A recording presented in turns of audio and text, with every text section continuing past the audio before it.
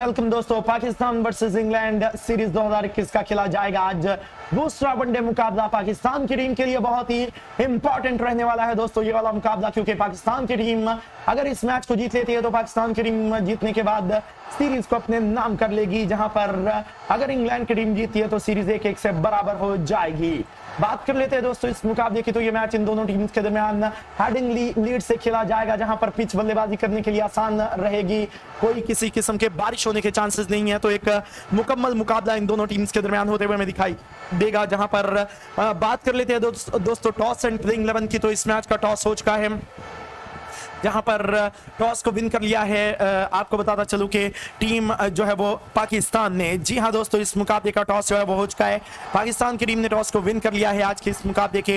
And toss को जीतने के बाद पाकिस्तान की तरफ़ से इस मुकाबले के अंदर जो है वो गेंदबाजी, यानी कि बॉलिंग करने का फैसला कर लिया गया है। आपने बताना है कि एक ऐसा फैसला है जहाँ पर टीम पाकिस्तान का। चेस करेगी टीम पाकिस्तान इस मुकाबले के अंदर। अब आइए बात कर लेते हैं प्लेइंग इलेवन की, जहाँ पर अगर हम देख लेते हैं दोस्तों पाकिस्तान की प्लेइंग इलेवन की तो पाकिस्तान की टीम की प्लेइंग इलेवन जो है वो कुछ यूँ रहेगी। नंबर वन पर खेलेंगे टीम पाकिस्तान के अंदर मोहम्मद रिजवान। मोहम्मद रिजवान की अगर हम बात कर लेते हैं दोस्तों तो बहुत ही लाजवाब फॉर्म में है। साल 2021 इनके लिए बहुत ही लाजवाब रहा है। 1000 के आसपास रन जो है मोहम्मद रिजवान ने बना रखे हैं साल 2021 के अंदर। और साथ साथ, अगर हम बात कर लेते हैं इनकी एवरेज की तो लगभग अट्ठानवे की इनकी बैटिंग एवरेज है साल 2021 के अंदर। जितने भी इन्होंने टी ट्वेंटी मैचेस खेल रखे हैं तो ये एक मेन प्लेयर रहने वाले हैं टीम पाकिस्तान के। इसके बाद अगर हम बात कर लेते हैं दोस्तों नंबर दो के प्लेयर की तो वो रहने वाले हैं बाबर आज़म बाबर आज़म एंड मोहम्मद रिजवान। इन दोनों प्लेयर्स की जोड़ी ने कमाल किया था पिछले मुकाबले के अंदर। आपको याद होगा दोस्तों के कितनी ही ज़बरदस्त किस्म की इनिंग्स खेली गई थी इन दोनों प्लेयर्स की तरफ़ से। बाबर आज़म की तरफ़ से पिचासी रन की एक लाजवाब इनिंग्स खेली गई थी। बरहल्ला आज देखते हैं कि बाबर आज़म और रिजवान जो है वो चेस करने में कितना हम रोल प्ले करते हैं। पिछले मैच के अंदर इन्होंने 50 रन की एक बहुत ही उमदा पार्टनरशिप जो है वो लगाई थी। 150 रन की, जहाँ पर आज देखते हैं कि इनका बल्ला दोनों प्लेयर्स का चलता है नहीं चलता। tâm. नंबर तीन की पोजीशन की अगर हम बात कर लेते हैं दोस्तों तो वो रहने वाले हैं यहाँ पर पाकिस्तान की टीम का हिस्सा सोहेब मकसूद जो है वो इस मुकाबले के अंदर हमें खेलते हुए दिखाई देंगे, जहाँ पर सोहेब मकसूद की अगर हम बात कर लेते हैं दोस्तों तो मेन प्लेयर रहने वाले हैं फखर जमान भी जो है वो टीम के अंदर खेलेंगे। सोहेब मकसूद की बात कर लेते तो पीएसएल के अंदर जो है वो इनको मैन ऑफ़ द टूर्नामेंट का अवार्ड दिया गया था और इसी वजह से जो है वो सोहेब मकसूद का पाकिस्तान की टीम के अंदर कम भी हुआ था। बहरहाल आज देखते हैं कि सोहेब मकसूद का बल्ला जो है वो चलता है, इस मुकाबले के अंदर या नहीं चलता, क्योंकि सोहेब मकसूद का बदला चलना ज़रूरी हो जाएगा। अगर पाकिस्तान की टीम को एक बड़ा टोटल मिलता है आज के इस मुकाबले के अंदर। सोहेब मकसूद खेलेंगे दोस्तों टीम के अंदर। एंड सोहेब मकसूद के बाद अगर हम बात कर लेते हैं नंबर चार के प्लेयर की तो रहने वाले हैं फखर जमान फखर जमान ने पिछले मैच के अंदर तीन छक्के लगाकर एक इंपॉर्टेंट इनिंग्स खेली थी टीम पाकिस्तान की तरफ़ से। देखते हैं कि आज इनका बल्ला जो है वो इस मुकाबले के अंदर चलता है या नहीं। मेन प्लेयर रहेंगे ये टीम पाकिस्तान के नंबर तीन पर खेलेंगे। नंबर चार पर जो है वो सोएब मकसूद खेलेंगे। नंबर पाँच पर नाम आता है दोस्तों ऑलराउंडर प्लेयर मोहम्मद हफीज का। पिछले मैच के अंदर इन्होंने गेंदबाजी नहीं करवाई थी। लेकिन अब देखने वाली बात यह होगी कि इनको बॉलिंग दी जाएगी या नहीं दी जाएगी, जहाँ पर जो है वो मोहम्मद हफीज एक अहम रोल प्ले कर सकते हैं पिछले मैच के अंदर। इनकी तरफ़ से से भी एक अच्छी इनिंग्स खेली गई थी। जारहाना जो है वो बल्लेबाजी इनकी तरफ़ से की गई थी। और आज का ये वाला मैच भी इनके लिए काफ़ी इंपॉर्टेंट रहने वाला है। तो दोस्तों, मोहम्मद हफीज जो है वो नंबर पाँच पर, टीम पाकिस्तान का हिस्सा बनते हुए दिखाई देंगे। जबकि नंबर छह के प्लेयर की बात कर लेते हैं तो वो रहने वाले हैं आज़म खान। आज़म खान जो है वो पिछले मैच के अंदर इतनी ज़्यादा बल्लेबाजी इनकी नहीं आई थी। इनको जो है वो आपको बताता चलू कि पाकिस्तान की टीम के अंदर जो है वो आसिफ अली एंड हैदर अली की जगह पर टीम के अंदर लाया गया है। और इनका जो टीम पाकिस्तान के अंदर रोल है दोस्तों, वो इंतहाई अहम है। इनका रोल है बिग हिटर। और इनका जो काम है, आते ही इन्होंने अपनी बैटिंग तेज करनी होती है। बड़े बड़े हिट्स लगाने होते हैं, जिसकी वजह से पाकिस्तान की टीम मिडल ऑर्डर के अंदर इतना ज़्यादा स्ट्रगल ना करे, ये इनका मकसद है।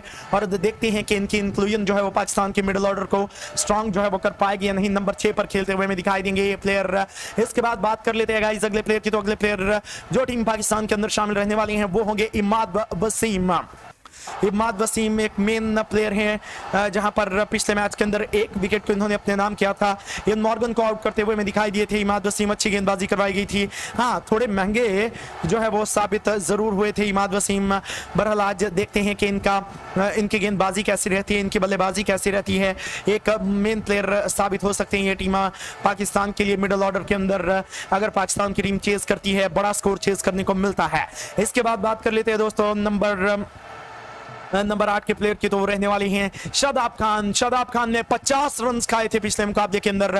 काफ़ी महँगे साबित हुए थे शादाब खान। लेकिन बात आती है विकेट्स की तो तीन अहम विकेट्स को इन्होंने अपने नाम किया था। पिछले मैच के अंदर हर बॉलर की धुलाई हुई थी, लेकिन विकेट्स जो बॉलर लेने में कामयाब हुआ था, वो मेन बॉलर साबित हुआ। और इसी तरह शादाब खान की बॉलिंग भी इस तरह से अच्छी हुई थी कि उन्होंने तीन अहम विकेट को अपने नाम किया। सेंचुरी बनाने वाले प्लेयर जो है वो लियाम लिविंगस्टोन लिविस क्रॉगरी समेत एक और बैट्समैन को जो है उन्होंने इस मुकाबले के अंदर आउट किया था। शादाब खान जो है वो दोस्तों इस मुकाबले के अंदर खेलते हुए दिखाई देंगे। एंड शादाब खान के बाद नाम आता है शाहीन शाह अफरीदी का। पिछले मैच के अंदर इनको मैन ऑफ़ द मैच का अवार्ड दिया गया था और वो दिया गया था दोस्तों इनको, इनकी बेहतरीन बॉलिंग की वजह से। तीन विकेटों को इन्होंने अपने नाम किया था और तीन अहम विकेटें लेते हुए हमें दिखाई दिए थे। शाहीन आफरीदी देखते हैं कि आज का ये वाला मैच जो है वो इनके लिए कैसा साबित होता है। मेन बॉलर हैं तो शुरुआती ओवर्स के अंदर पाकिस्तान की टीम को अगर विकेट दिलवाते हैं दोस्तों तो ये एक बहुत ही बड़ा प्लस पॉइंट होगा टीम पाकिस्तान के लिए। बहरहाल अब देखते हैं कि शाहीन आफरीदी की बॉलिंग परफॉर्मेंस कैसी रहती है, जहाँ पर शाहीन आफरीदी के बाद नाम आता है दोस्तों हारिस रऊफ का।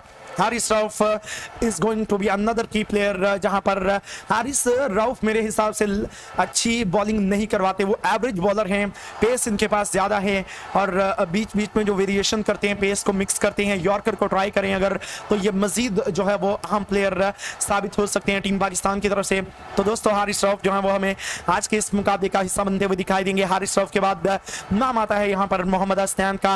मोहम्मद हसनैन की जहाँ तक अगर हम बात कर लेते हैं दोस्तों तो हसनैन जो है वो एक की प्लेयर रहेंगे। पिछले मैच के अंदर इन्होंने बहुत ही इकोनॉमिकल किस्म की जो है वो गेंदबाजी करवाई थी। कोई इतने ज़्यादा जो है वो रन मोहम्मद असनैन की तरफ़ से पिछले मुकाबले के अंदर नहीं दिए गए थे। और इसी वजह से ये एक तरह से मेन बॉलर अपनी टीम के साबित हुए थे। और आज देखते हैं कि इनकी बॉलिंग परफॉर्मेंस जो है मुकाबले के अंदर कैसी रहने वाली है। मोहम्मद असनैन जो है नंबर ग्यारह पर खेलते हुए दिखाई देंगे टीम पाकिस्तान के अंदर। इसके बाद बात कर लेते हैं दोस्तों टीम इंग्लैंड की, जहाँ पर इंग्लैंड की टीम हमें पहले बैटिंग करते हुए दिखाई देगी। टॉस को टीम पाकिस्तान ने विन करते हुए गेंदबाजी करने का फैसला किया है। इंग्लैंड की टीम के अंदर जेसन रॉय खेलेंगे ओपनर के रूप में। और जेसन रॉय एक जारहाना किस्म के बल्लेबाज हैं। नंबर दो पर नाम आता है जॉस बटलर का। कप्तानी करेंगे आज के इस मैच के अंदर क्योंकि इयन मॉर्गन जो है वो टीम इंग्लैंड का हिस्सा नहीं है। नंबर तीन पर नाम आता है दोस्तों, डेविड मल्लान का। मल्लान की जहाँ तक अगर हम बात कर लेते हैं तो टी ट्वेंटी के नंबर वन के ये प्लेयर हैं। लेकिन इनकी तरफ़ से अगर मजीद अच्छी क्रिकेट ना खेलेगी तो यकीनी तौर पर इनकी जो नंबर वन की पोजिशन है वो खतरे में रह सकती है।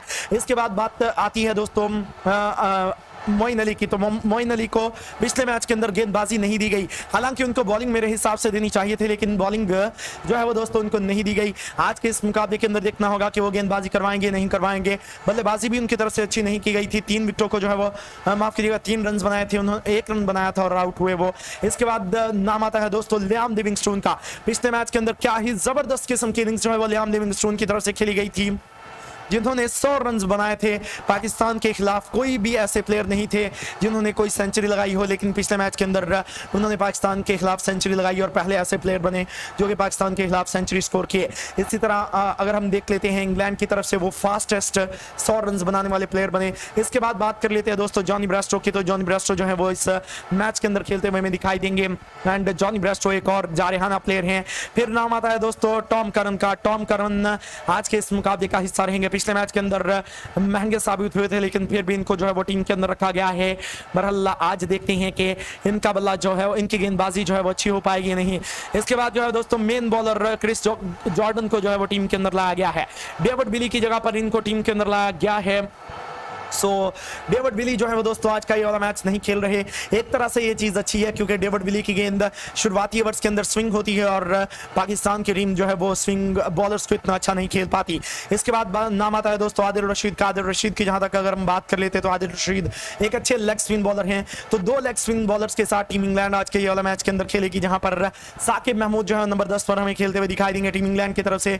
जबकि नंबर ग्यारह पर जो प्लेयर खेलेंगे वो रहने वाले हैं मैथ्यू पार्किंसन तो दोस्तों, एक नज़र फिर से दौड़ा देते हैं दोनों टीम्स की प्लेइंग इलेवन के ऊपर, जहाँ पर टॉस को जीत लिया है टीम पाकिस्तान ने और बॉलिंग करने का फैसला किया। इंग्लैंड की टीम के अंदर खेलेंगे दोस्तों Jason Roy Jos Buttler Jonny Bairstow David Malan Moeen Ali Liam Livingstone Tom Curran Chris Jordan Adil Rashid Saqib Mahmood and Matthew Parkinson Pakistan की टीम की प्लेइंग इलेवन की अगर हम बात कर लेते तो टीम पाकिस्तान के अंदर मोहम्मद रिजवान खेलेंगे, बाबर आज़म, सोहेब मकसूद, फखर जमान, मोहम्मद हफीज, आज़म खान, इसके साथ साथ इमाद वसीम शादाब खान शाहीन आफरीदी हारिस रऊफ एंड मोहम्मद असनैन तो दोस्तों, ये प्लेइंग इलेवन रहने वाली है टीम पाकिस्तान की। अब आपको क्या लगता है, कौन सी टीम इस मुकाबले को करेगी? बिन ये आपने हमें बता देना है। पाकिस्तान की टीम अगर जीत लेती है तो सीरीज़ को अपने नाम करेगी। इंग्लैंड की टीम अगर जीती है तो सीरीज़ एक एक से बराबर कर देगी, जहाँ पर अब मैच की शुरुआत जो है वो दोस्तों होने जा रही है। और एक बहुत ही लाजवाब मैच, एक हाई स्कोरिंग मैच जो है इन दोनों टीम्स के दरमियान होते हुए हमें दिखाई देगा।